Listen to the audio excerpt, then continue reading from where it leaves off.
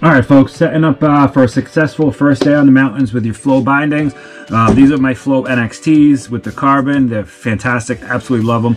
These are super dialed in. Um, so in order to get ready for your first day on the mountain with these suckers, you want to unlock the thing. So you lock, unlock them there so you can pull them loose. Keep them unlocked, pull them loose. All right.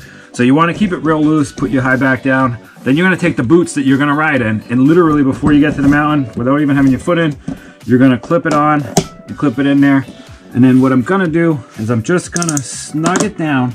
I don't want it tight at all. I wanna get it a little loose, but just barely there where I know I'm gonna need a couple more clicks to actually firm it up when I get to the mountain, but I know that it'll slide in nice and easy. And that boot is essentially prepped for the mountain.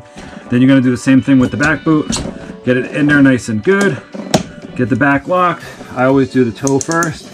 And then again, kind of snug, but not loose or tight, just snug. So you want to be able to get this board soup, boot super in, easy, nice and done, boom, then it's right here, right? So this is a good spot for when you get to the first top of the mountain. And then once you get up to the top of the mountain, I'll uh, continue from there, but you're just gonna snug it down, lock them in, and then you should be set for the day. Should like a set it and forget it type of thing.